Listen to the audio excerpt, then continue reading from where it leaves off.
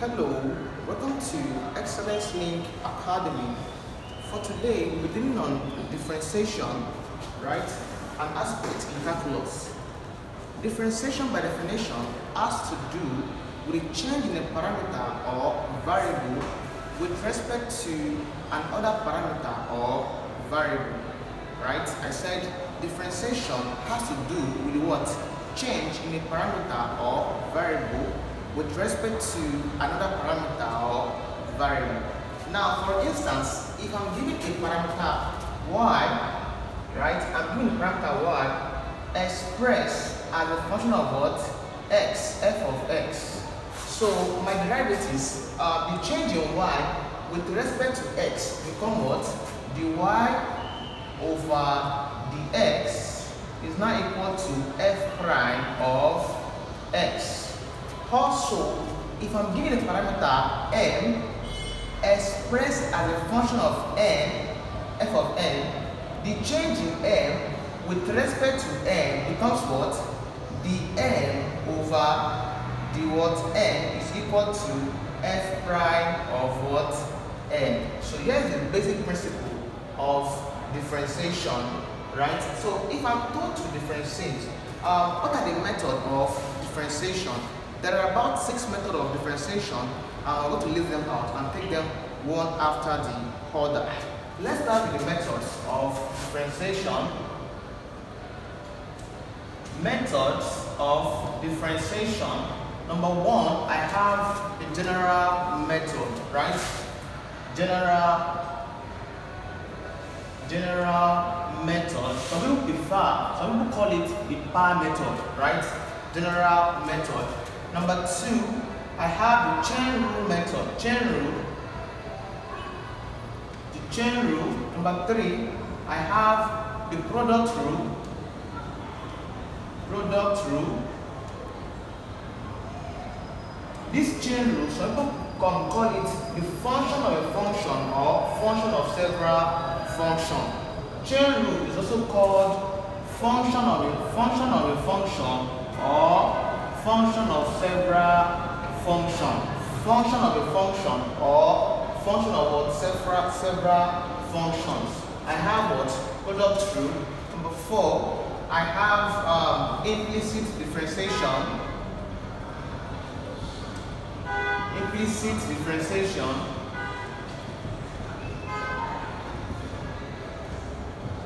Right, I have general method, I have chain rule, product rule, right? Implicit differentiation. I have the quotient rule,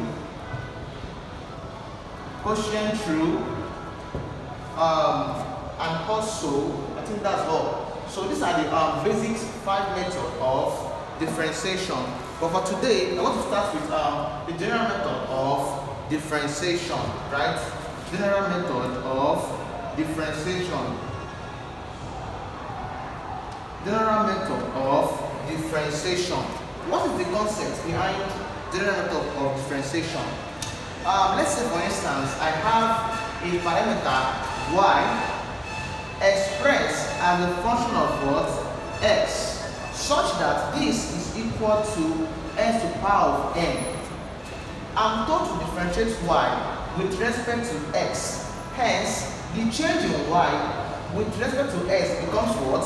the y over the x is equal to now here's the principle for general method. What's the idea what's my power here n the principle is multiply by the power and subtract from the what? From the power that's all. So what's my power here n multiply what by the power? N times everything here x to the power of n then what? Subtract from the power minus 1 if i proceed i will have my the y over the x to be equal in value to what?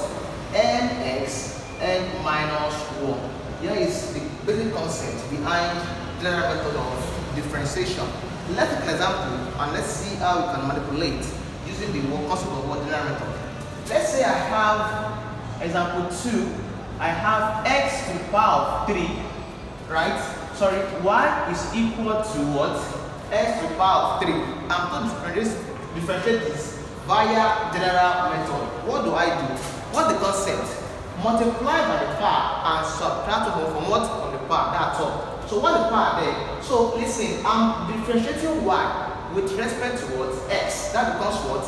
dy over the x, that's all. Becomes what? dy over the x is equal to, we said what? Multiply by the power. The power is what? 3 multiplied by everything here. Hence, what? Subtract 1 from what? Power minus 1. So that proceed, my dy over the x is equal to 3x to power of 3 minus 1 is what?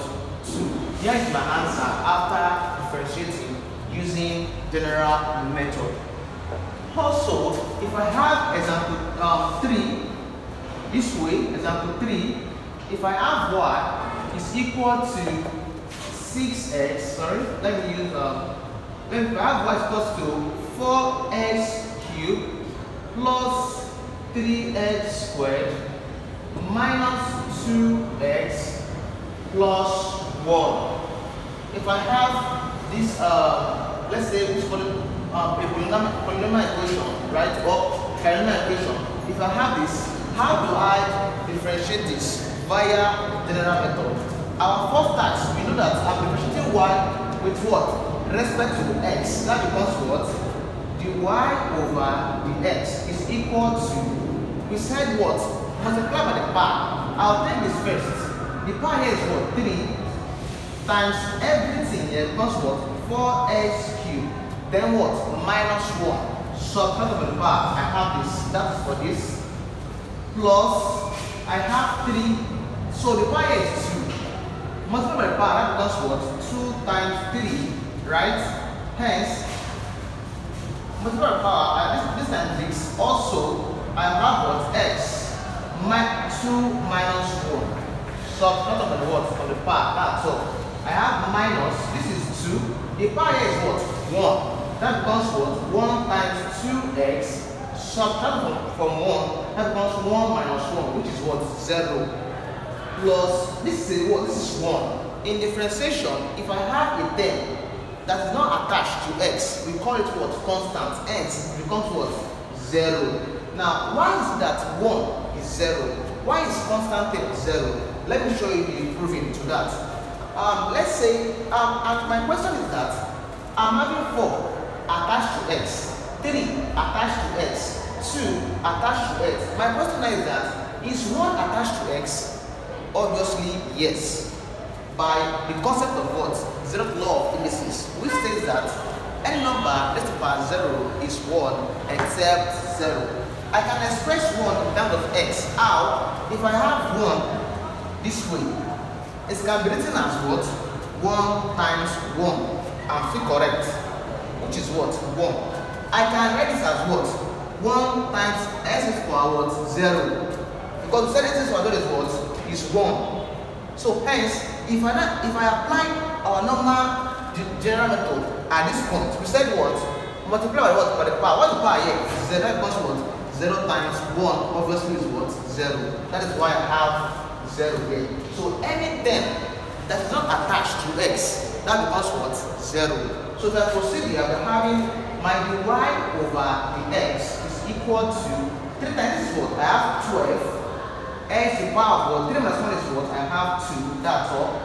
Plus, I have 3 times 3 is what? I have 6x um, 2 minus 1 is what? I have 1. You don't need to put 1 up here. Because we assume that every alphabet that's standing alone has an invisible 1. That's all. I have a negative sign. Minus 1 times 2 is what? 2. X to power what? 0. So an x to power is what? Is what? 1. Hence, I don't need this off. Right? And plus 0 2 is off. I said x minus 1 is what? 0. And x to power 0 is what? Is 1. Hence, let me just put 1 here to avoid confusion.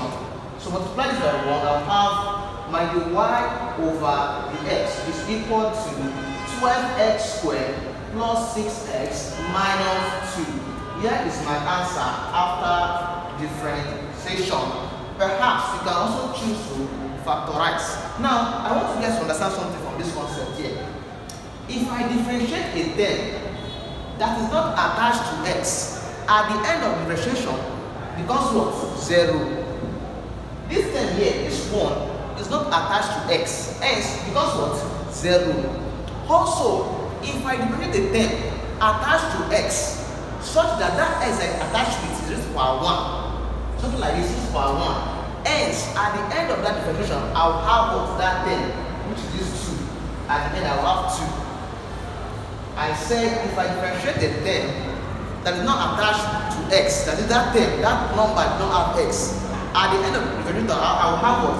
I will have 0. Also, if I differentiate the term that is attached to x, such that that x is raised to power 1, at the end of my differentiation, I will have that term, which is 2. Um, 2 down here. Let me show you, let me make you guys understand what I'm saying uh, very well.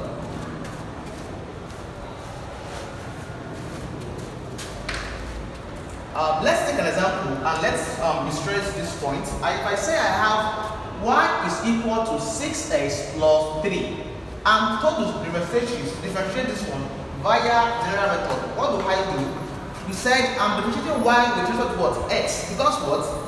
The y over the x is equal to, this term is attached to x.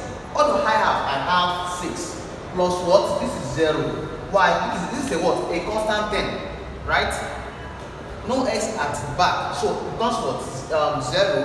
Why this has what? Just a, a x. At the end I have what? That 10. So my answer here, my y over the x here is equal to 6. So here's the, um, the way um, to solve problem on general method. Now next class, we'll be discussing on uh, the chain rule uh, method on how to differentiate. Um, sorry, we also have, now listen, we also have first principle method.